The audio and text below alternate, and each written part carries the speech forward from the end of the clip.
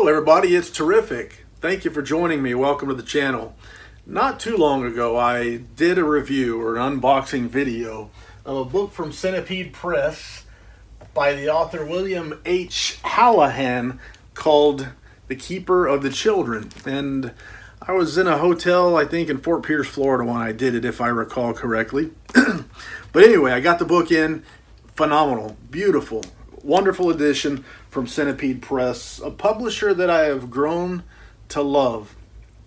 I've got some favorites, and now Centipede Press is one of them, where every chance I get, I get me a Centipede Press book.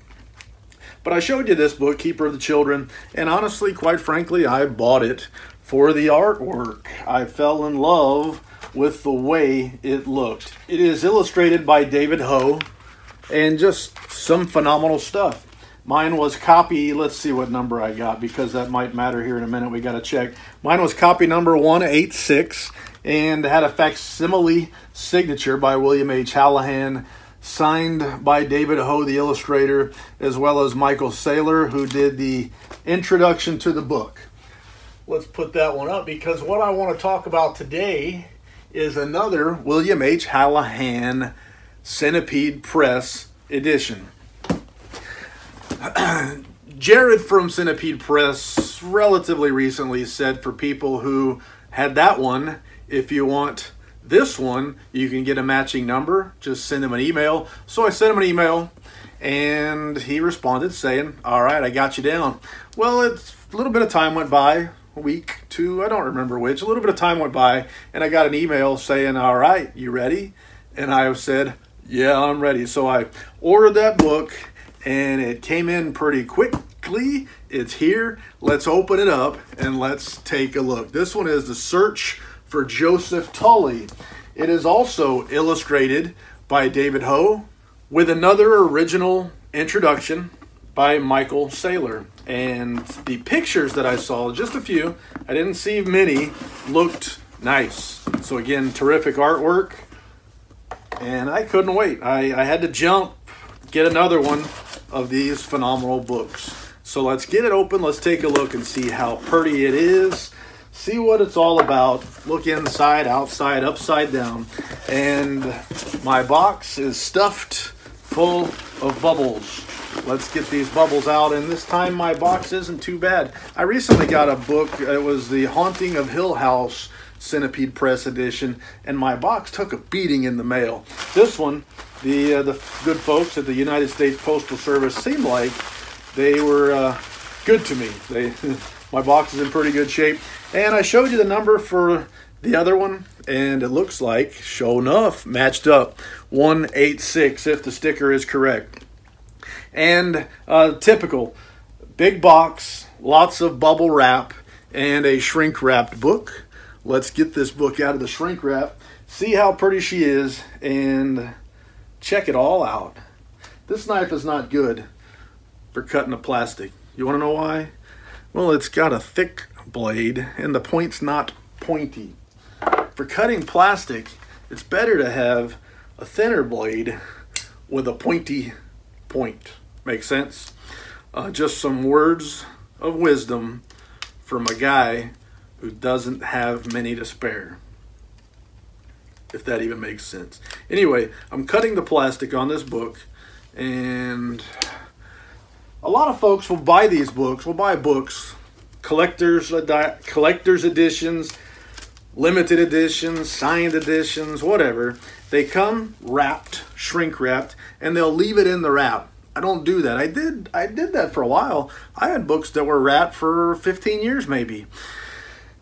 And then I started to realize that that might not be a good idea. I got a wrapped book and the, it had foxing on it. The top page edges had spots all over it. And I'd read that that may be mildew from moisture trapped in the book. So I started opening my shrink wrapped editions. And sure enough, I found one problem.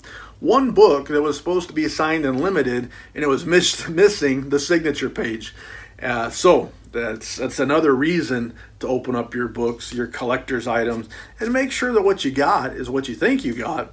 And then on top of that, um, it may help to prevent moisture building up and causing mildew. At the same time, what I'll do to protect the dust jackets for a lifetime is I'll wrap them in a Brodart. I use Brodart, but I'll wrap them in a Mylar protector. It makes them shiny, so maybe in the light it doesn't look as good as a flat. That's a matter of taste. But I want in 20 years my dust jackets to be as perfect as they are right now, so that's why I do it. It's a bit of a sacrifice with benefits. Anyway, that's enough of that mess. Here is this beautiful dust jacket. Well, I should turn it like that, huh? Anyway, beautiful dust jacket. That's the front. There is the spine. And there is the back. The David Ho artwork is what got me in the gate on that one. And here we got some beautiful stuff. Let me take off this dust jacket. And there's more. Wait, there's more. But first I want to take off this dust jacket. And the inside, it's got a shiny coating of something. I don't know. Maybe it's plastic. But it's, uh, it's nice. Unbelievable artwork. If I turn it like this, what an amazing dust jacket. There's something else I want to show you. It was actually advertised in the listing. This book was $80, and I don't know if it's available yet for everybody to buy, but uh, or if it's just still waiting for people that had the first book to make their choices and make their purchases. But at some point, it should be available to folks that don't have Keeper of the Children to buy it. But in the listing that I have from the email, they did something here, which is what they did with the Keeper of the Children, is they have the entire dust jacket artwork pasted down on the front of this book. It's a shiny thing. They say it's pasted. I don't know. I guess we'll take them at their word, but it's not like uh, uh, like your kid put paste on it and slapped it down. It's got a bit of a. See if you can see around the edges. I'm looking. It's got a bit of a sheen all the way around where there's something holding it on. But a beautiful, you get that entire dust jacket like I showed you stretched out on the front board of this book. So the book itself might almost look better without the dust jacket. It's a it's a beautiful dust jacket, but Centipede Press always makes beautiful books, and this is a case where they make it even beautifuler. they they up the ante on this, just phenomenal. And then I showed you the spine that foil stamp spine beautiful amazing stuff. And then the back is plain. They centipede calls this brillanta black cloth. I don't know what that means. I don't even know if i said it right but that's what they call it. And it's good. It's good stuff. You got a Smyth sewn binding.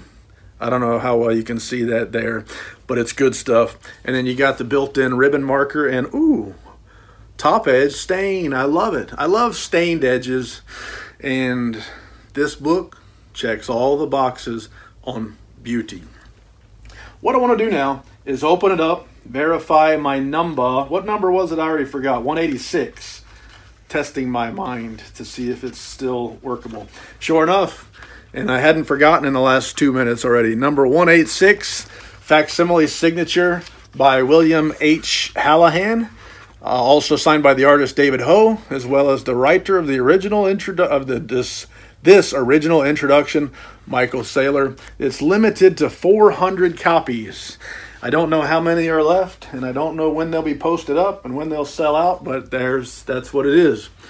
The illustrated in papers, just phenomenal, amazing. The amazing amount of stuff that Centipede Press, Jared at Centipede Press can stuff in a book for the price he can do it at. Uh, it's just phenomenal. That's why I've become a fan of Centipede Press.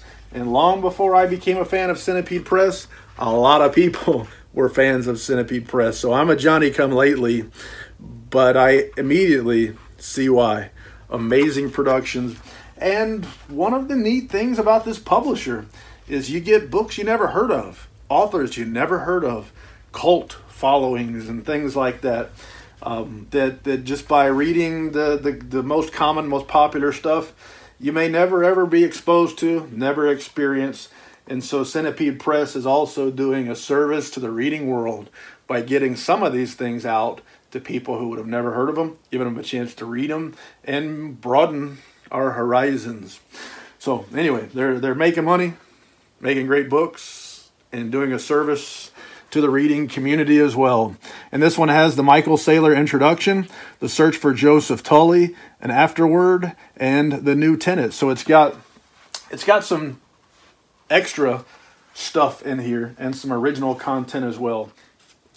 And on top of the David Ho illustrations, you've also got some other stuff, book covers and such as that that go go along with this edition. Centipede always stuffs lots of extras in there. And let's see if we can take a look at some. So there's our introduction, the search for William Hallahan. And you'll see that those pages are a slightly different color than the actual text pages, which is a more creamy white color, which is my favorite. The stark bright white contrasted with black bold letters sometimes is is not easy on the eyes. This is more for easy reading, that creamy white. The font is kind of medium. It's not big, it's not small. It's kind of right in the box there. So so for the folks that need large print books, this might be rough for you, but it's not smaller than normal, so it's not going to be rougher than normal for you. And I'm not going to go through all this, the extras, but there is all sorts of extra additional stuff in the book for the fans, for the collectors, for anybody who wants to take a look and see just some neat stuff in here. The search for Joseph Tully. Now I want to flip through and try to find some of these David Ho illustrations so we can see what it what all goes into this one. I don't want to miss any, but gosh, can't ever tell. Sometimes it sometimes it's not easy finding illustrations. But I'll do my best to try to find what I can find. Phenomenal artwork in this book.